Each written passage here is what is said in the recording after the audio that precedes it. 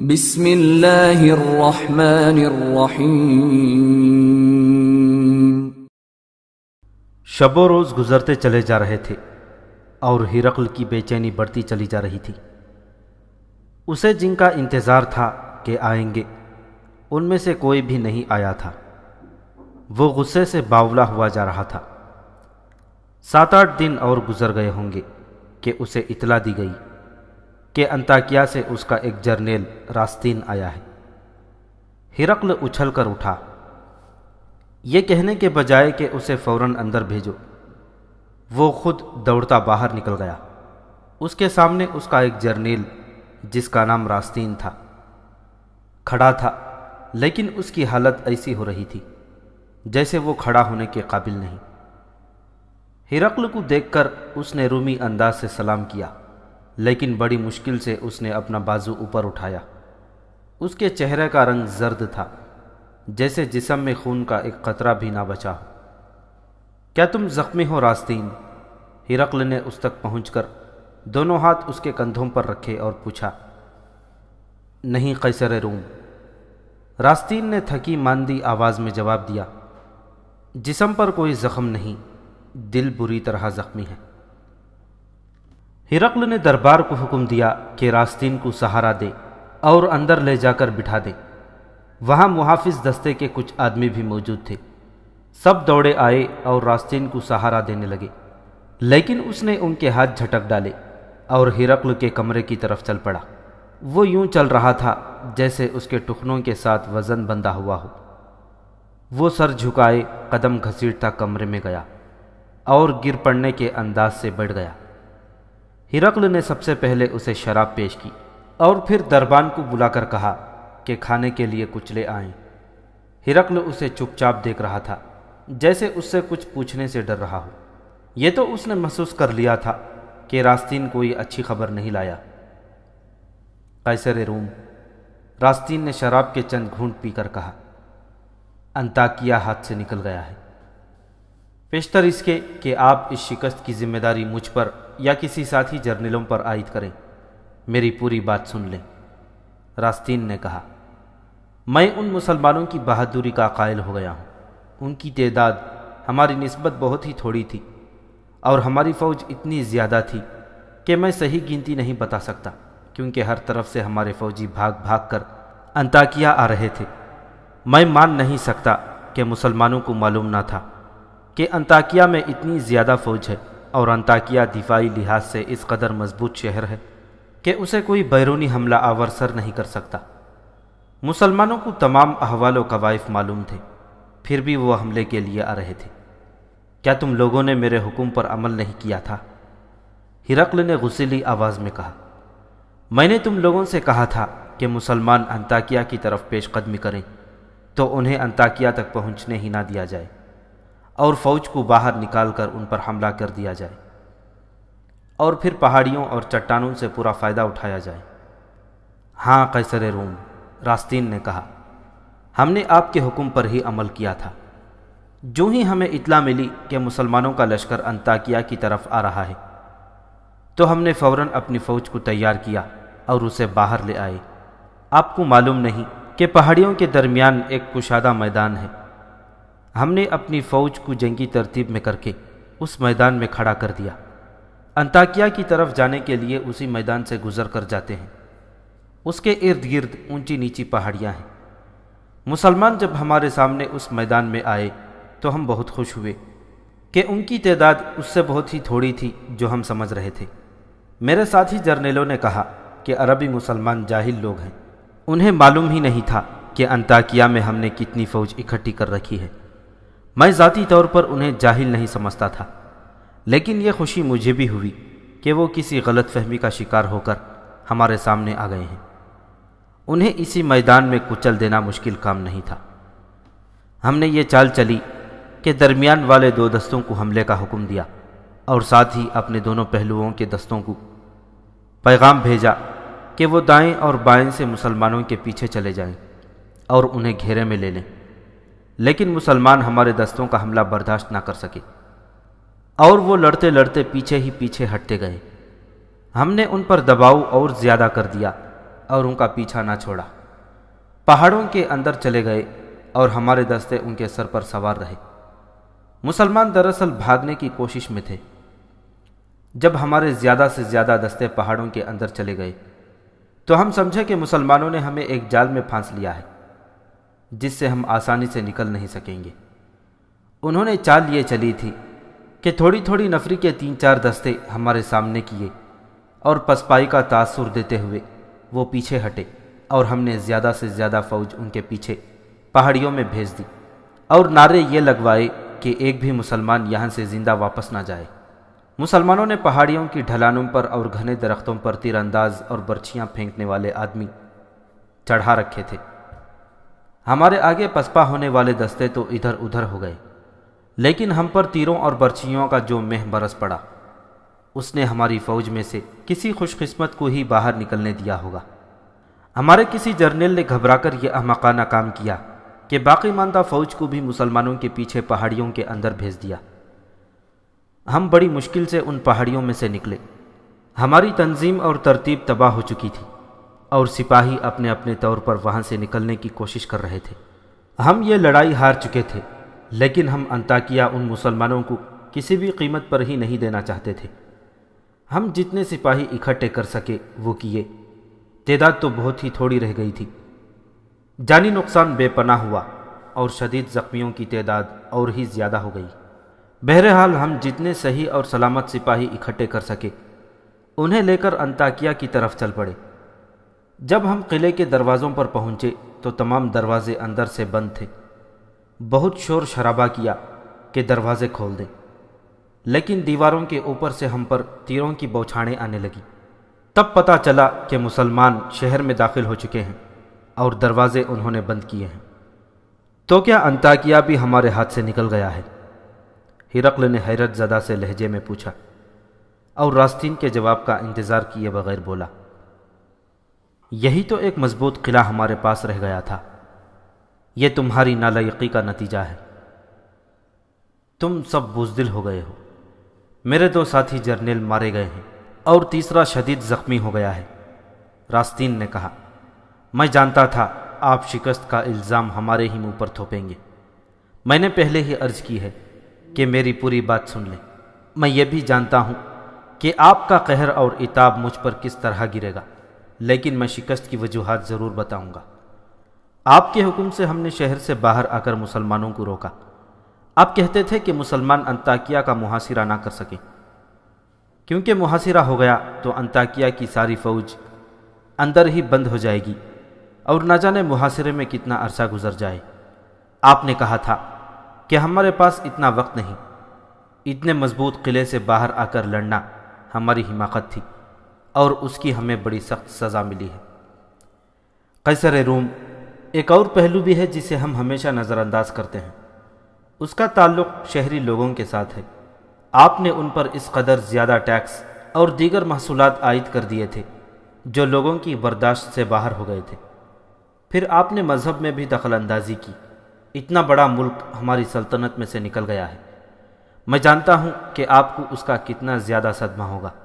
میں اپنا فرض سمجھتا ہوں کہ آپ کو ان وجوہات سے آگاہ اور خبردار کر دوں۔ جنہوں نے آج یہ روز بد دکھایا ہے۔ ایک تو یہ ٹیکس وغیرہ تھے جن سے لوگوں میں یہ بات پھیلی کہ بادشاہ اور اس کے جرنیل اور سارے کا سارا شاہی خاندان لوگوں کو بھوکا رکھ کر اپنی عیاشیوں کے اخراجات پورے کر رہا ہے۔ یہاں کے مقامی لوگ کہتے ہیں کہ ہمارے ملک کی دولت روم جا رہی ہے۔ اس کے ساتھ ہی میں نے خود دیکھا ہے کہ روم کے جو شہری یہاں بسلسلہ کاروبار یا سرکاری عمال بن کر آئے تھے۔ وہ اپنے آپ کو یہاں کے لوگوں کے بادشاہ سمجھتے ہیں۔ میں تمہاری بات سمجھ گیا ہوں، ہرقل نے جھنجلا کر کہا۔ تم یہ کہنا چاہتے ہو کہ تمہیں شہریوں سے کوئی تعاون نہیں ملا۔ نہ کوئی مدد ملی ہے۔ بات جلدی کرو، لمبی لمبی باتوں کا وقت نہیں۔ ہمیں سوچنا ہے اب کیا ہوگا۔ اور ہم اب کیا کریں؟ صرف یہ بات نہیں کہ شہریوں سے ہمیں مدد نہ ملی، راستین نے کہا۔ شہری ہمارے خلاف اٹھ کھڑے ہوئے تھے۔ اگر ہم محاصرے میں لڑتے، تو یہ شہری باغی ہو کر شہر کے دروازے کھول دیتے۔ میں تو شہر کے باہر ہی تھا، اندر جانے کا موقع نہ ملا، تو ادھر کا رخ کر لیا۔ میں پورے یقین کے ساتھ کہہ رہا ہوں کہ انتاکیہ کے لوگوں نے مسلمانوں کا استقبال پورے تپاک سے کیا ہوگا۔ حالانکہ ان میں مسلمان شاید کوئی بھی نہیں۔ سب ہمارے ہم مذہب ہیں۔ مجھے صرف ایک اور موقع مل جانے دو، ہرقل نے کہا۔ یہ لوگ ٹیکسوں کی اور شاہی خاندان کی عیاشیوں کی بات کرتے ہیں۔ میں ان کی رگوں سے خون بھی نچوڑ لوں گا۔ شہنشاہ روم، راستین نے کہا۔ اگر آپ آج میری رگوں سے بھی خون نچوڑ لیں اور مجھے ہڈیوں کا ڈھانچہ بنا کر باہر پھینک دیں تو بھی میں وہ بات کہنے سے گریز نہیں کروں گا۔ جو کوئی آدمی اپنے بادشاہ کے منہ پر کہنے کی ضرورت نہیں کیا کرتا، بادشاہوں کے حضور ان کی تعریفیں کی جاتی ہیں تاکہ وہ خوش رہیں اور انعام و اکرام سے نوازتے رہیں۔ مجھ سے آپ خوش نہ ہوں، ناراض ہو جائیں، لیکن میں آپ کا ایک جرنیل ہوں۔ آپ نے مجھے بڑی اونچی حیثیت بھی دی ہے اور اجرت بھی دل کھول کر دی ہے۔ میرا فرض ہے سلطنت روم کی حفاظت اور اس کا پھیلاؤ۔ لیکن میں شکست کھا کر آ گیا ہوں۔ میں اس میں اپنی ذاتی بے عزتی سمجھتا ہوں۔ مجھے آپ کی عظمت بھی عزیز ہے۔ میں نمک حرامی کروں گا۔ اگر میں حقیقت پر پردہ ڈال کر آپ کو خوبصورت تصورات میں الجھا دوں۔ کیا تم اصل بات فوراً نہیں کر سکتے؟ ہرقل نے قہر بھری آواز میں کہا۔ اصل بات سن لیں۔ راستین نے کہا، دشمن کو اس لیے برا نہ کہو کہ وہ دشمن ہے۔ دشمن نے ہم پر فتح حاصل کر لی ہے اور اس کی پیش قدمی اور ہماری پسپائی جاری ہے۔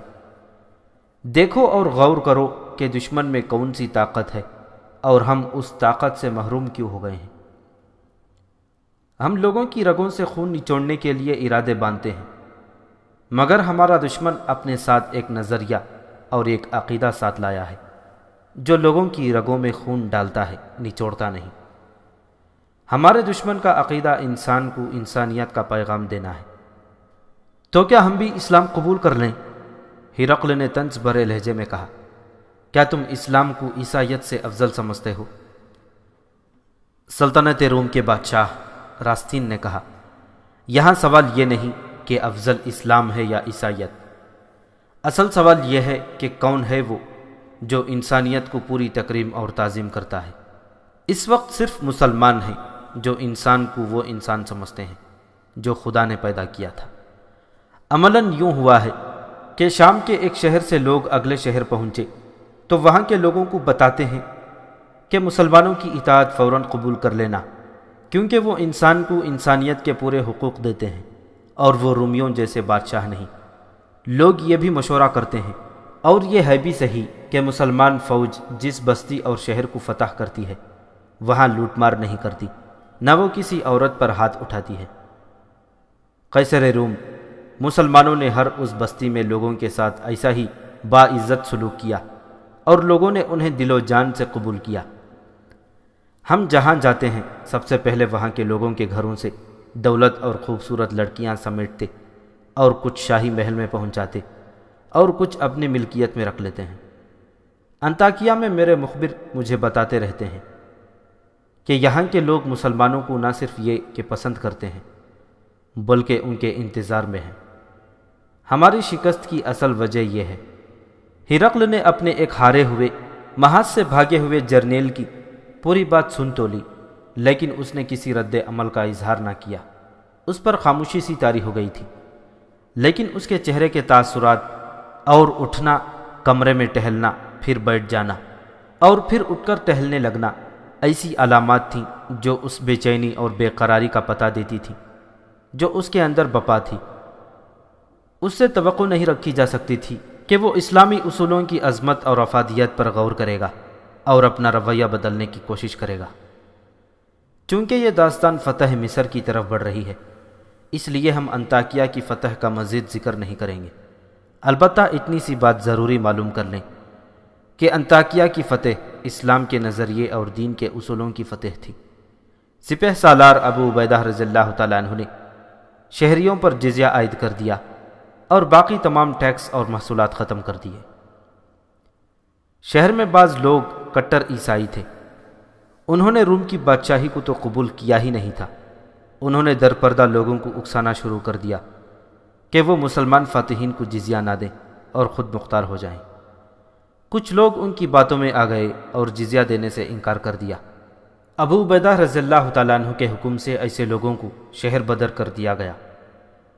مسلمان فاتحین کے سامنے صرف یہ کام نہیں تھا کہ وہ مفتوحہ شہروں کا نظم و نسق درست کرنے بیٹھ جاتے۔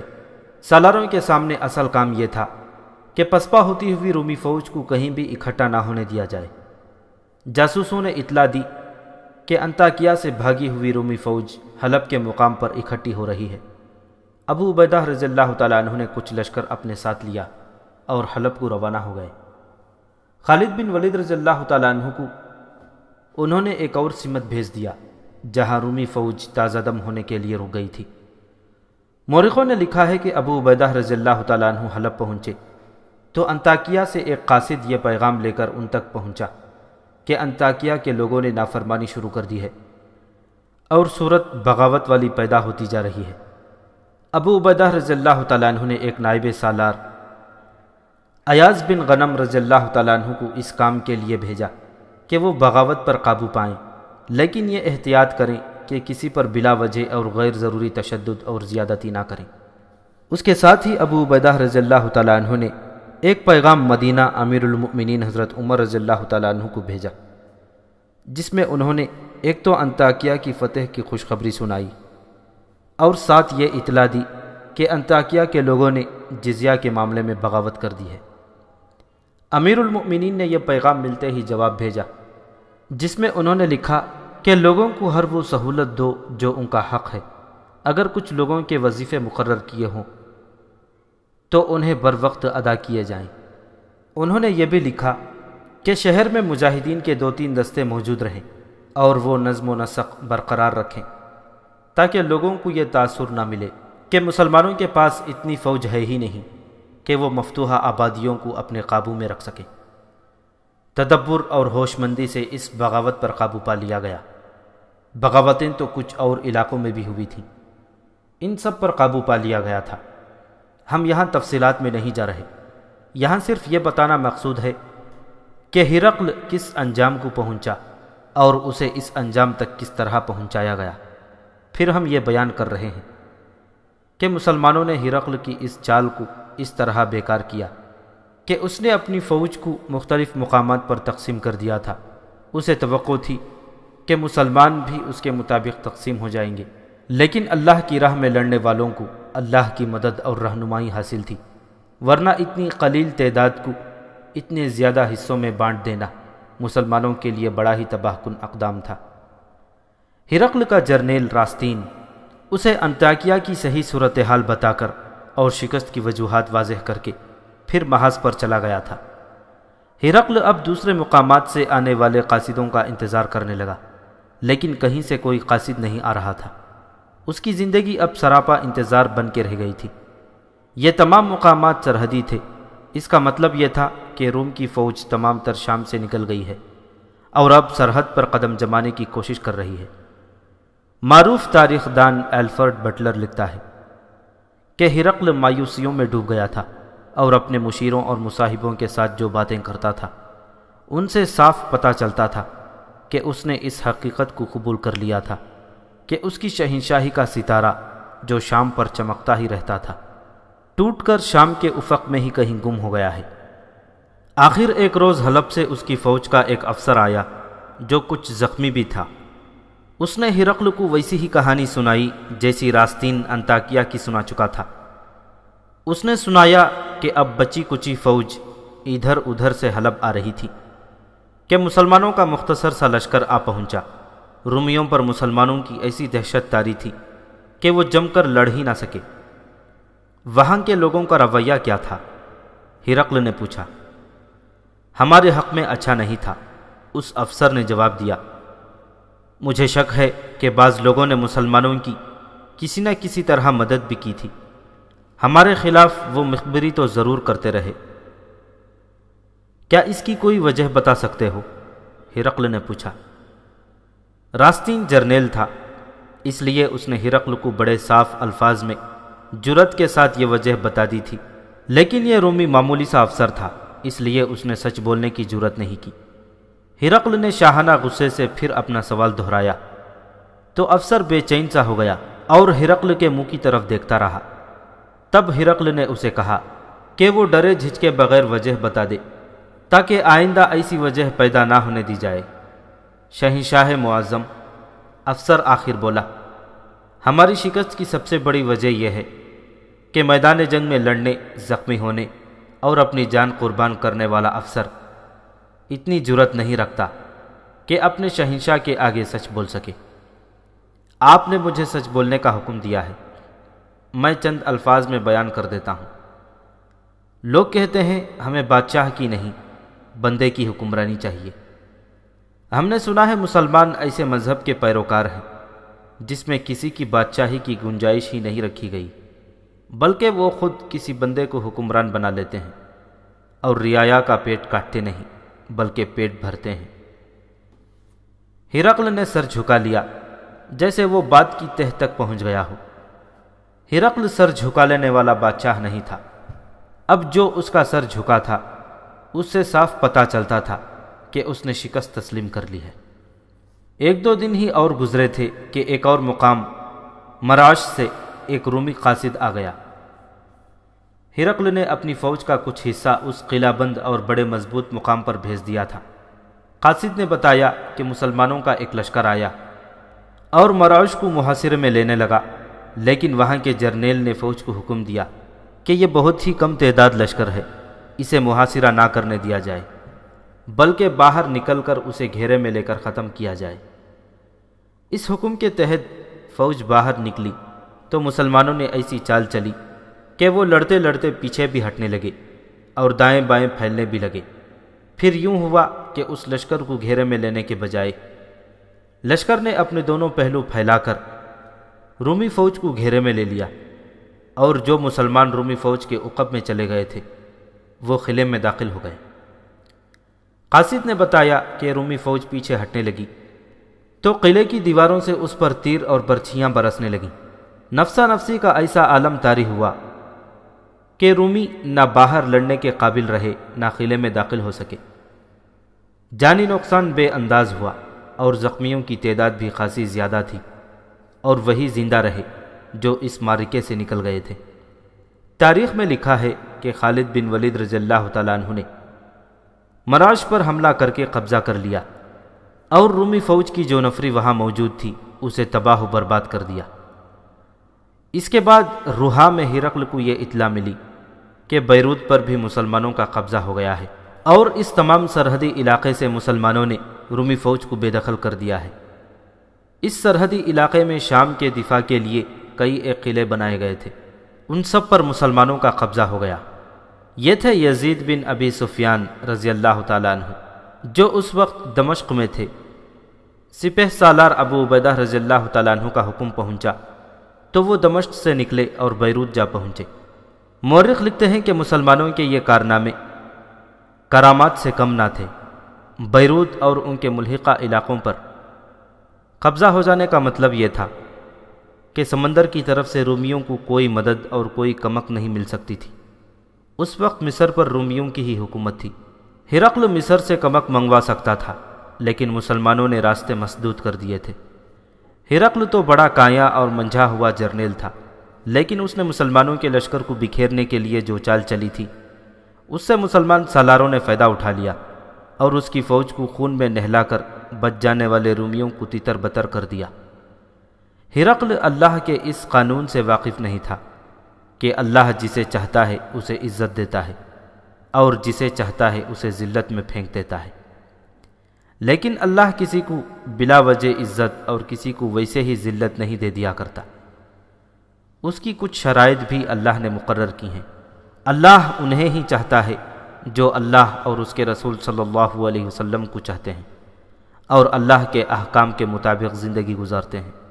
ہرقل نے اپنے مشیروں اور مصاحبوں کو بلایا اور انہیں صورت حال بتا کر کہا کہ وہ مشورہ دیں کہ اپنی بکھری ہوئی فوج کو کہاں یکجا کیا جائے اور کیا فوج یکجا ہو جائے تو یہ لڑنے کے قابل ہوگی۔ ایک مشیر فوراً بول اٹھا۔ اس نے سب سے پہلے ہرقل کی مدح سرائی کی، پھر مسلمانوں کو برا بھلا کہا اور پھر اس قسم کے الفاظ کہے کہ روم کی فوج کو دنیا کی کوئی طاقت شکست نہیں دے سکتی۔ اٹھو۔ ہرقل نے اس مشیر سے کہا، باہر نکل جاؤ، پھر مجھے کہیں نظر نہ آنا۔ ہرقل دوسرے مشیروں سے مخاطب ہوا، مجھے صحیح مشورہ چاہیے۔ صورتحال تم سب کے سامنے ہے۔ مشیروں اور مصاحبوں پر خاموشی تاری ہو گئی۔ جیسے وہ وہاں موجود ہی نہ تھے یا مر ہی گئے تھے۔ ہرقل انہیں دیکھتا رہا۔ سب کو غالباً توقع تھی کہ ہرقل گرج کر بولے گا اور حکم دے گا۔ کہ اسے صحیح مشورہ دیا جائے۔ ان میں سے کوئی بھی سچ بات کہنے کی جرت نہیں رکھتا تھا۔ غالباً ہرقل نے محسوس کر لیا کہ یہ لوگ کس ذہنی کیفیت میں مبتلا ہیں۔ اسے شاید یہ احساس بھی ہو گیا تھا کہ ان لوگوں کو مدح سرائی اور خوشامت کا عادی اس نے خود بنایا ہے۔ اس کے سامنے بڑی ہی تلخ اور اذیت ناک حقیقت آ گئی تھی جو اسے مجبور کر رہی تھی کہ وہ سچ کا سامنا کرے۔ ہم اب کہیں بھی نہیں لڑ سکتے۔ ہرقل نے خود ہی فیصلہ سنا کر مشیروں کو ذہنی اذیت سے نکالا۔ ایک ہی صورت رہ گئی ہے۔ وہ یہ کہ ہم شام سے نکل جائیں اور مصر جا کر فوج کو منظم اور تیار کریں اور پھر شام پر حملہ آور ہوں۔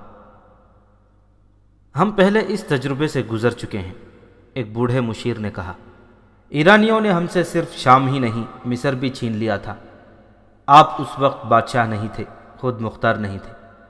لیکن آپ نے بادشاہ کو بے اختیار کر کے سلطنت کے اختیارات اپنے ہاتھ میں لیے، فوج کو تیار کیا۔ اور جب مصر اور شام پر حملہ کیا، تو ایرانیوں کو فیصلہ کن شکست دے کر دونوں ملکوں سے نکال دیا تھا۔ ہم تسلیم کرتے ہیں کہ ملک شام پر مسلمانوں کا قبضہ ہو گیا ہے۔ مصر تو ہمارے پاس ہے۔ فیصلہ بہتر یہی ہے کہ ہم یہاں سے نکل چلیں۔ اس کے بعد تمام مشیر باری باری بولنے لگے اور سب نے اسی فیصلے کی تائید کی کہ شام سے نکل جانا چاہیے۔ اگر ہم اس توقع پر فوج کو لڑاتے رہے کہ مسلمانوں کو ایک زوردار حملے سے پسپا کر دیں گے، تو حاصل کچھ بھی نہ ہوگا۔ سوائے اس کے کہ جو فوج بچ گئی ہے، وہ بھی کٹ جائے گی۔ ہرقل نے حکم جاری کر دیا کہ وہ قسطنطنیہ جانا چاہتا ہے اور جتنی جلدی ہو سکے روانگی کی تیاری شروع کر دی جائے۔ اس وقت قسطنطنیہ بھی رومیوں کی سلطنت کا ایک بڑا شہر تھا اور جنگ سے محفوظ۔ ہرقل کو اب وہی پناہ گاہ نظر آ رہی تھی۔ اس کی کچھ کی تیاریاں زور و شور سے شروع ہو گئیں۔ ہرقل تو اس دور کی سب سے بڑی اور حیبت ناک جنگی طاقت کا سب سے بڑا جرنیل اور بادشاہ تھا۔ اس کے غرور اور تکبر نے اور انسانوں پر اس کے ظلم و تشدد نے اسے یہ روز عبرت دکھا دیا۔ کہ جب اس کی حیبت ناک جنگی طاقت ڈرے سہمے ہوئے سپاہیوں کی صورت میں بکھر گئی تھی، اس کے نامور جرنیل مارے گئے تھے۔ ہر طرف اور ہر جگہ اس کے فوجیوں کی گلتی سڑتی ہوئی لاشیں بکھری ہوئی تھیں اور زخمی فوجی اپنے آپ کو گھسیٹتے پھر رہے تھے۔ اس فوج کا سب سے بڑا جرنیل اور بادشاہ مجسم حسرت و یاس بنا اس منزل کو روانہ ہو رہا تھا، جسے وہ سب سے زیادہ محفوظ پناہ سمجھتا تھا۔ لیکن یقین نہیں تھا کہ اس منزل تک خیریت سے پہنچ بھی سکے گا یا نہیں۔ تاریخ میں صرف وہ واقعات ملتے ہیں جو عینی شاہدوں کے حوالوں سے کبھی قلم بند کیے گئے تھے۔ ان واقعات میں انسان چلتے پھرتے، بھاگتے دوڑتے ایک دوسرے کا خون بہاتے اور روئے زمین پر اچھی بری حرکتیں کرتے نظر آتے ہیں۔ کسی مورخ نے یہ نہیں لکھا کہ فلاں صورتحال میں فلاں کے دل میں کیا تھا اور اس کے اندر کیسے طوفان بپا ہو رہے تھے۔ کسی نے لکھا بھی تو یہ قیاس آرائی تھی یا قیافہ شناسی۔ ہرقل کے مطابق متعدد مورخوں نے لکھا ہے کہ وہ مایوسی اور نامرادی میں ڈوب گیا تھا اور اس قدر بے چین اور بے قرار رہنے لگا تھا کہ اس کے لیے کوئی معمولی سا فیصلہ کرنا بھی دشوار ہو گیا تھا۔ وہ فتوحات کا عادی ہو گیا تھا اور اس وہم میں مبتلا کہ کوئی اسے شکست دے ہی نہیں سکتا۔ اس خوش فہمی نے اسے رعایا کے لیے فرون بنا دیا تھا۔ ہم تصور کی آنکھ سے دیکھ سکتے ہیں کہ اس وقت اس کے دل پر کیا گزر رہی تھی۔ اسے اپنا ایک بڑا ہی نامور جرنیل تزارق یاد آیا ہوگا۔ یہ ابو بکر صدیق رضی اللہ تعالیٰ عنہ کے دور خلافت کا واقعہ ہے۔ مجاہدین اسلام دو عظیم سالاروں مصنع بن حارثہ اور سعد بن ابی وقاص رضی اللہ تعالیٰ عنہ کی قیادت میں زرتشت کے پجاری ایرانیوں کے خلاف عراق میں برسر پیکار تھے۔ آتش پرست ایرانی پسپا ہوتے چلے جا رہے تھے۔ شام سلطنت روم میں شامل تھا اور حکومت ہرقل کی تھی۔ اس وقت تک ہرقل مسلمانوں کو عرب کے بدو اور سہرائی لٹیرے کہا کرتا تھا۔ اس نے مسلمانوں کو یہ تاثر دینے کے لیے کہ وہ شام کی سرحدوں سے باہر رہیں، ورنہ نیست و نابود کر دیے جائیں گے۔ اپنا ایک بڑا زبردست کثیر تعداد لشکر یرموک کے مقام پر بھیج دیا اور مسلمانوں کو للکارا۔ اس لشکر کا جرنیل تاریخ کا ایک مشہور جنگجو تزارق تھا۔ ہرقل کو توقع تھی کہ وہ ایک ہی مارکے میں مسلمانوں کو ہمیشہ کے لیے ختم کر دے گا۔ لیکن اس مارکے کا انجام یوں ہوا کہ تزارق مارا گیا۔ اس کا تقریباً آدھا لشکر کٹ مرا اور جو تعداد بچ گئی، وہ بندہ بندہ ہو کر بکھری اور دہشت زدگی کے عالم میں واپس پہنچی۔ مورخ لکھتے ہیں کہ تزارخ کے بعد ہرقل کو خود آگے بڑھنا چاہیے تھا۔ تاکہ مسلمانوں پر اس کا دبدبہ قائم ہو جاتا۔ لیکن وہ اس لیے باہر ہی نہ نکلا کہ اسے بھی شکست ہوگی اور اس کا وقار یرموک کی زمین میں ہی دفن ہو جائے گا۔ اب جبکہ وہ شکست خوردگی کی حالت میں قسطنطنیہ جا رہا تھا، اسے یرموک کا مارکہ یاد آیا ہوگا اور وہ پچھتایا بھی ہوگا کہ اس نے عبرت حاصل نہ کی اور مسلمانوں کو کمزور ہی سمجھتا رہا۔ پھر اسے رسول اکرم صلی اللہ علیہ وسلم کا ایک خط یاد آیا، جس میں آن حضور صلی اللہ علیہ وسلم نے اسے اسلام قبول کرنے کی دعوت دی تھی۔ اس واقعہ کا مختصر سا پس منظر یوں ہے کہ جیسا پہلے بیان ہو چکا ہے، ایرانیوں نے رومیوں سے شام و مصر چھین لیے تھے۔ اس وقت روم کا بادشاہ فوکاس تھا۔ ایرانیوں نے بیت المقدس بھی فتح کیا تھا۔ اور حضرت عیسیٰ علیہ السلام کی فرضی قبر سے سلیب اعظم کو اٹھا کر لے گئے تھے۔ ہرقل نے شاہ فوکاس کا تختہ الٹا، خود شاہ روم یا قیصر روم بنا اور ایرانیوں کو شکست دے کر ان سے سلیب اعظم واپس لے لی تھی۔ وہ سلیب اعظم واپس حضرت عیسیٰ کی مفروضہ قبر پر رکھنے بیت المقدس جا رہا تھا۔ رسول اکرم صلی اللہ علیہ وسلم نے اس کے نام ایک خط بھیجا جس میں اسے اسلام قبول کرنے کی دعوت دی گئی تھی۔ یہ خط ایک صحابی دہیا بن خلیفہ کلبی رضی اللہ تعالیٰ عنہ لے جا رہے تھے۔ ہرقل انہیں بیت المقدس کے راستے میں ملا۔ انہوں نے وہیں رسول اکرم صلی اللہ علیہ وسلم کا خط ہرقل کو دے دیا اور جواب کا انتظار کرنے لگے۔ آج جب شکست خوردہ ہرقل مسلمانوں کے قہر و اتاب سے بھاگا ہوا، شام کی سرحد سے نکل رہا تھا، اسے یقیناً مسلمانوں کے رسول صلی اللہ علیہ وسلم کا خط یاد آیا ہوگا۔ اور یہ بھی کہ اس نے کس طرح آن حضور صلی اللہ علیہ وسلم کا مذاق اڑایا تھا۔ دہیا رضی اللہ تعالیٰ عنہ بن خلیفہ قلبی پر بھپتیاں کسی تھیں۔ اور پھر حضور صلی اللہ علیہ وسلم کی شان میں گستاخانہ کلمے کہے تھے۔ اور خط آپ صلی اللہ علیہ وسلم کے ان صحابی کے منہ پر دے مارا تھا اور بڑی بےحودگی سے انہیں رخصت کیا تھا۔ ایم ممکن ہے اب ہرقل دل ہی دل میں پچھتایا ہو کہ وہ حلقہ بگوش اسلام ہو جاتا۔ تو آج وہ بھی فاتحین میں شامل ہوتا اور اس ذلت و رسوائی تک نہ پہنچتا۔